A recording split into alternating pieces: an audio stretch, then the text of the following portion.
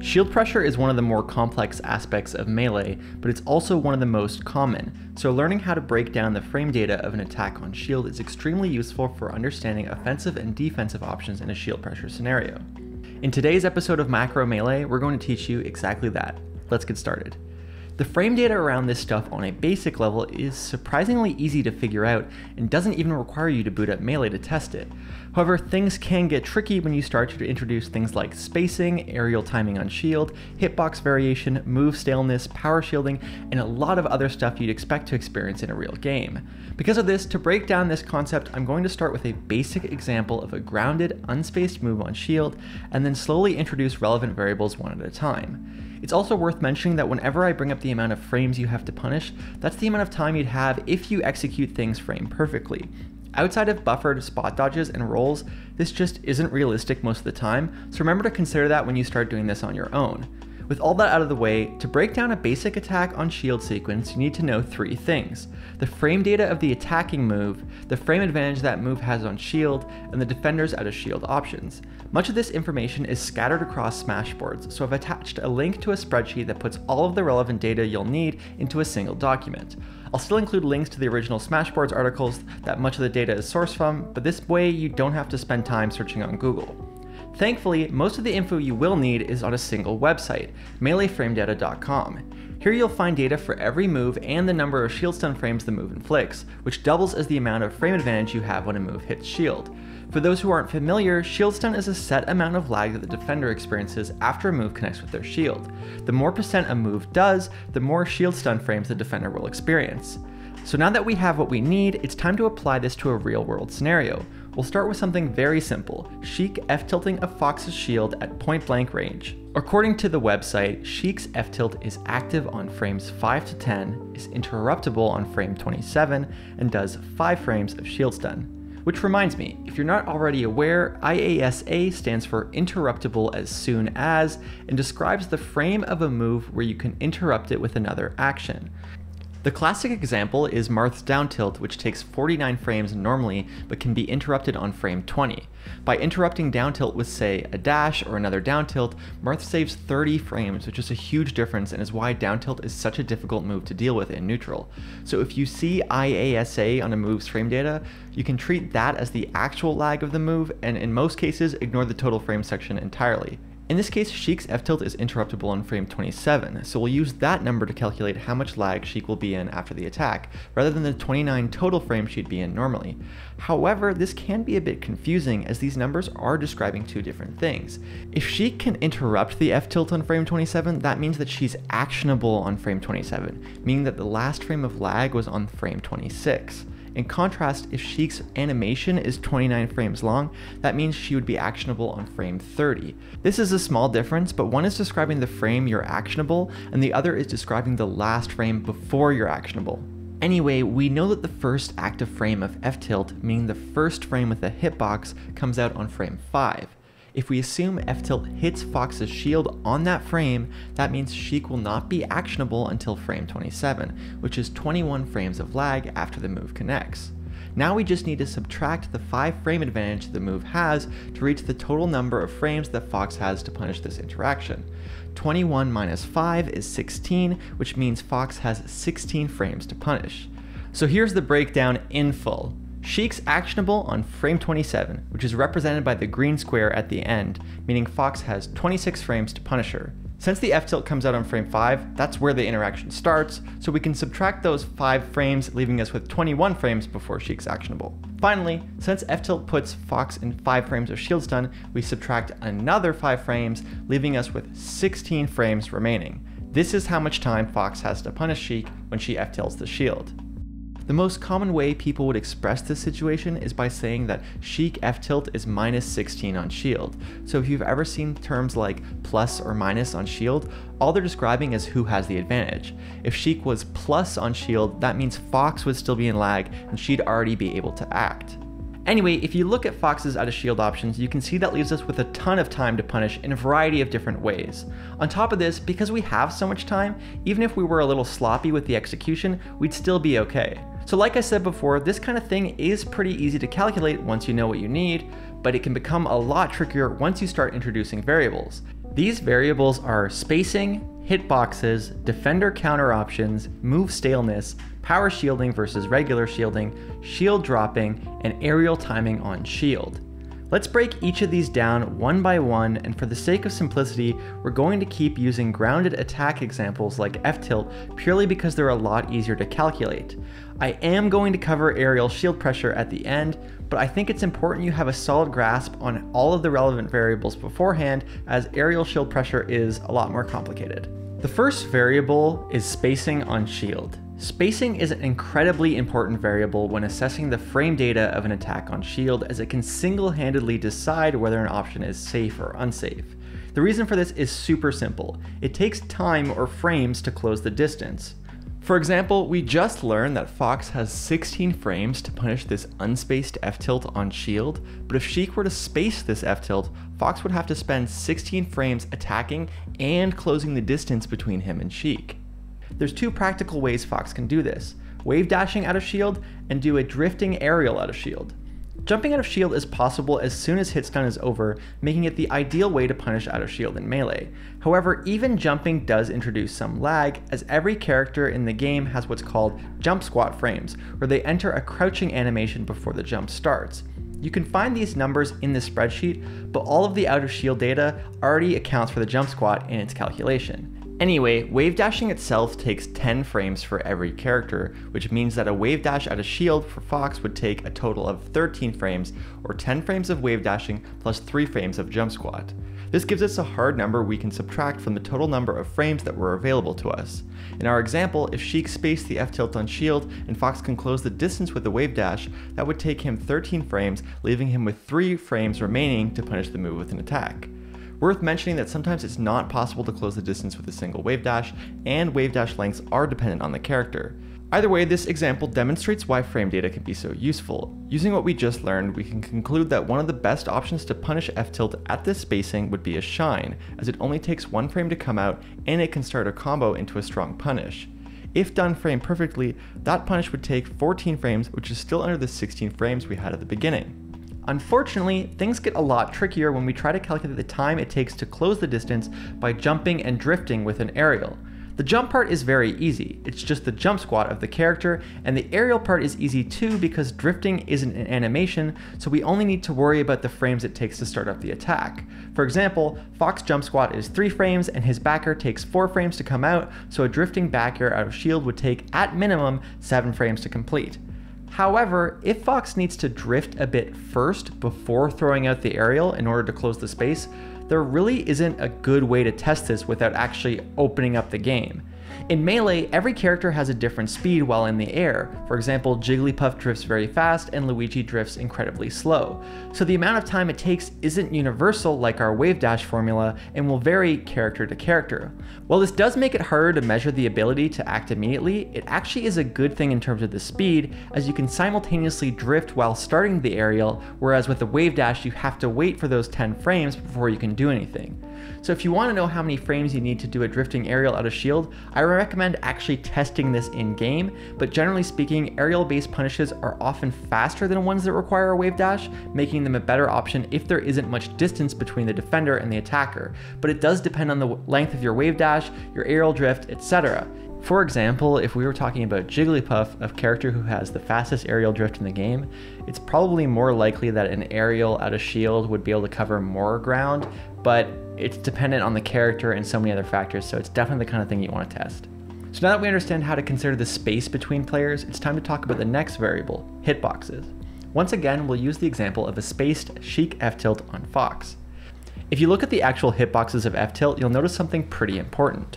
While F-tilt is active on frame 5, the position of the move's hitbox is a lot smaller and doesn't cover nearly as much space as the one on frame 6. Because of this, it's much more likely that the hitbox on frame 6, rather than frame 5, connects with Fox Shield at this spacing. Since that hitbox comes out one frame earlier, this actually gives us one less frame to punish, as the math now looks like this. Right now, this is probably splitting hairs, but for some characters, it's extremely relevant.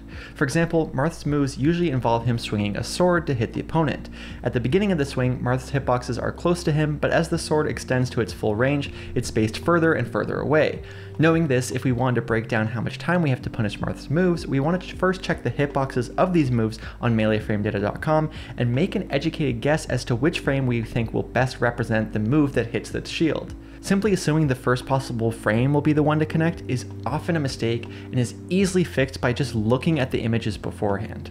This leads us into the next thing worth considering, the specific hitbox that connects with your shield. A lot of moves in Melee have multiple hitboxes with different properties depending on where they connect. In Marth's case, his whole character design is built around this idea, with his tippers versus the sour spots. The reason this matters so much is because, as we mentioned earlier, the amount of frame advantage a move has is purely based on how much percent the move does. If we were looking at Marth's tipper forward air, we'd see that one hitbox does 13%, the tipper, or 7 frames of shield stun, while the weak hitbox only does 9%, or 6 frames of shield stun. In the case of Sheik F-Tilt, all of the hitboxes are the same, and I know this because I can go to ikneedata.com, go to Sheik's F-Tilt, and see that every hitbox does the same number of damage. But keep in mind, it's pretty common for a move to have a variety of different hitboxes depending on the spacing of the move, or just how long the move has been out for, like Dr. Mario's Nair. The next variable you want to consider is probably the one that's most overlooked when people start labbing frame data, and it's the counter options available to your opponent. So far in this video, whenever we've assessed the amount of frames we have to punish, we're always focusing purely on the amount of frames we have before the attacker is actionable. On the surface, this makes sense, but if you actually stop and think about it, it's much more useful to consider how much time your opponent will take to do something to stop you. Let's go back to our very first example where Sheik is in 16 frames of lag. The fastest possible option available to Sheik is on frame 17, where she can immediately shield, and the second fastest option available to her is either a jab or a spot dodge, as both come out in two frames. With the exception of jab, which you can ASDI down for pretty much forever, these options are primarily defensive, so this means if Sheik wants to counterattack, she's got to deal with even more startup lag that all characters have to deal with. For example, if Sheik wanted to spam two F tilts back to back, she'd be in the 16 frames of end lag after the first attack on shield, and then an additional 4 frames of startup lag before her second F tilt comes out. Knowing this, if we're worried about our opponent throwing out a counterattack, it's more accurate to say we have 20 frames to punish, not 16, as that's the 4 frames of F-tilt startup lag plus the 16 frames of end lag. You can even raise this number further depending on the hitbox of the move that Sheik uses. For example, suppose your counterattack comes from above. In this case, Sheik's F-tilt doesn't really protect her until around frame 7 or later. So rather than 16 frames of lag or even 20 frames of lag, you'd actually have around 22 frames of lag because you have the 16 frames from the end lag and then the first 6 frames of F-tilt don't protect her from your high attack, which you can see in this clip where Falcon goes for a stomp above the F-tilt. Once again, I know this is the kind of thing that seems like we're splitting hairs here, but if your opponent can't do anything useful, even when they're actionable, that gives you more time than you originally thought to punish them. And if they can do something useful, but they only have a limited amount of options, then you can prepare for those options to deal with the situation. For example, if a character doesn't have great options in this situation besides shielding, maybe you go for a grab after you punish because even if you time that grab poorly, they're gonna be in shield anyway, and getting out of shield, as we now know, takes time, so you'll probably still get the punish.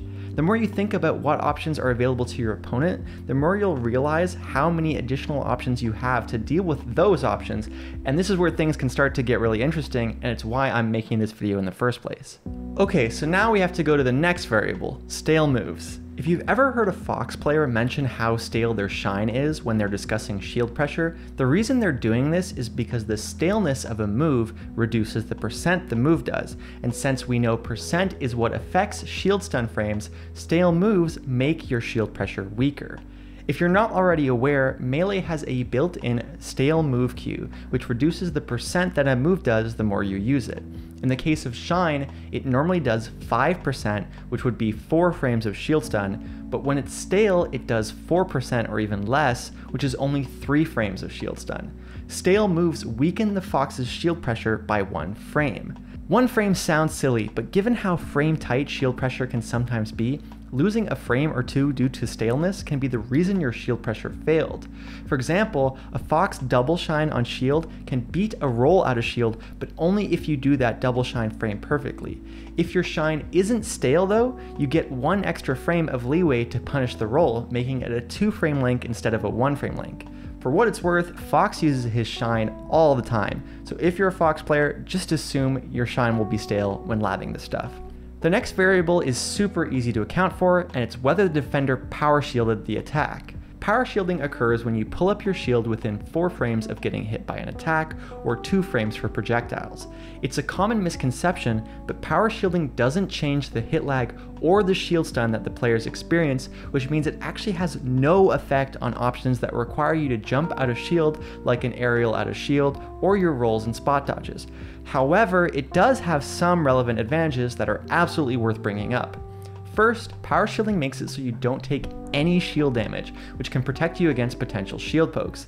Second, power shielding pushes your shield back further than a normal shield would, which makes it harder to follow up on spaced moves. Finally, and this is the most important one, power shielding allows you to completely cancel the guard drop animation with an A or B attack. If you're not already aware, the reason we don't see people punish options of shield by just dropping shield, as in letting go of L or R, is because doing this commits you to a 15 frame animation, which is just a crazy amount of time. However, power shielding an attack allows you to cancel this animation entirely with an A or B attack, which means power shielding opens you up for options like F smash out of shield and down smash out of shield, among many, many others. This means for Peach players, if you power shield a move, you can let go of L or R and spam C stick down to down smash out of shield, which is something you basically can't do if you don't get the power shield. Similarly, if you're a Samus player, you can charge shot out of shield without needing to jump first, which speeds up things by a lot. So, if your character has good options for the following moves on screen, I'd recommend experimenting with power shield options out of shield. The final variable I want to talk about before we talk about aerials is shield dropping. Since shield dropping does not require a jump, it skips the jump squat lag you'd normally be in entirely if you're doing like an aerial or a shine out of shield, and it allows you to be actionable on the second frame. This seriously buffs a lot of the options of the game, especially if your character has a long jump squat like Falco does. For example, Falco's regular Shine Out of Shield requires you to jump, and since Falco's jump squat is 5 frames, this means a frame perfect Shine Out of Shield takes 6 frames to come out. Since shield dropping skips the jump squat and takes only 1 frame before you're actionable, you're able to shine on frame 2, which means this option now takes one third of the time it used to. Shield dropping affects aerials in the same way, so if you're attacking someone on the platform and they know how to shield drop, remember that this essentially buffs a bunch of their relevant options out of shield, and you'll need to be much more careful. Because of all this, I've included a tab in the spreadsheet that shows how shield dropping will affect the usual options at a shield, so keep that in mind whenever you attack someone on the platform. Alright, all of the variables are out of the way, it's time for us to break down the most common types of attacks on shield, aerial attacks. If you're still with us, thank you. I know it might seem strange that I left this until the end, but aerial attacks on shield combine a lot of the relevant factors that I just explained and have specific unique factors of their own that make it even more complicated. For example, aerial shield pressure is heavily affected by two things, how low or high the aerial is when it connects on shield, and whether the aerial is L cancelled or auto cancelled. As many of you know, if Falco does a high nair on shield, most characters can shield grab it before he can get a shine out, but if he does a low nair, you can't grab it before the shine comes out. The reason for this is when you connect the Nair higher on shield, you're connecting it earlier on shield, and the opponent will experience the shield stun earlier as well, and exit lag before the attacking Falco's landing lag is over. Therefore, the most basic breakdown of an aerial attack on shield just means you assume the aerial hits at the lowest possible point on shield and work from there. For example, if we assume Falco nairs and immediately lands, this means the nair would do 7 frames of shield stun and he'd experience 7 frames of landing lag if he hits the L cancel. 7 minus 7 is 0, which means that Falco is plus 0 on shield. But like I said, this is the simple calculation that assumes you hit on the lowest possible frame. Most aerial attacks don't do this. In a real game of Melee, an aerial might hit the shield low or high or in the middle, which makes the calculation different every time. On top of this, better players are often going to be angling their shields in certain directions to mess with this timing, so this kind of thing can and will happen literally every game. So if you want to test out all the variable heights you can hit on shield, and how that affects your frame advantage, Really the only way to do this is to boot up Uncle Punch and try it yourself. In this clip you can see that the latest possible Falco Nair is in fact 0 on shield, whereas my highest Nair was minus 6 on shield, but I'm actually able to get pretty much every number in between. Even if we do this though, none of this accounts for the second relevant variable, auto-canceling. For the sake of making this video as short as I possibly can, auto-canceling is a property aerials have when they've been out for a certain amount of time and it cuts your landing lag to 4 frames. Some aerials, like Sheik's forward air, auto-cancel extremely quickly, and you can see this by looking at this section on Melee frame data, but for most aerials, you can't auto-cancel until the aerial has been out for a solid amount of time. This means in most situations, auto-cancel aerials will hit higher on shield, meaning they probably have more lag than if the attacker did a lower aerial on shield, but this is very dependent on the specific frame data of the move we're dealing with. On top of this, you can't even really use just this frame data to tell if a character can short hop auto cancel, as fall speed is a big factor in that regard. Like I said at the beginning, all this really complicates stuff, so I recommend doing some in-game testing just to make sure. Worth mentioning though, if the opponent is doing a higher aerial on shield and their animation ends before they'll land, you'll want to calculate that in a similar way to how we've been calculating grounded moves. For example, Marth is able to do two forward airs before he lands due to the IASA frames on the forward air. If he does a high forward air on shield and we assume it hits on the first possible frame, the math would look like this. Okay, so the IASA is 30. This means the move commits Marth to 29 frames of lag. Since we know the first active frame of forward air is frame 4, we'll have 29 minus 4, leaving us with 25 frames of lag remaining. From there, we then account for the 7 frames of shield stun that Tipper forward air does, so 25 minus 7 leaves us with 18 frames to punish Marth before he can act on frame 30. Okay, that's every relevant variable I can think of, but some of you are probably wondering how you can apply this to sequences where there's a string of several attacks that occur on shield. This is super simple, it's just a bit more work since it requires you to break down each attack one at a time. For example, if I wanted to understand a sequence where Falco does a late nair into a double shine, that means you gotta check the frame advantage Falco has after that late nair, which we already learned is plus zero. Then you wanna check the frame advantage he has after the shine, which for the sake of speed is plus three, and then the third shine would also be plus three. If you were allowing this, you'd want to figure out what options Fox has after each of these attacks, and then use that information to figure out what you would do to play around each option. Also remember that the attacker has the advantage of not having to leave shield, so even though Falco is plus zero after his late nair, because Fox has to do an option out of shield first, and that option puts him at more lag, Falco still has the advantage. Finally, if you're labbing a multi-hit move like Fox's down air, you're basically just approaching it in the same way, as you're treating it as a bunch of small, repeated attacks on shield, each with a set amount of frame advantage between one attack and the next.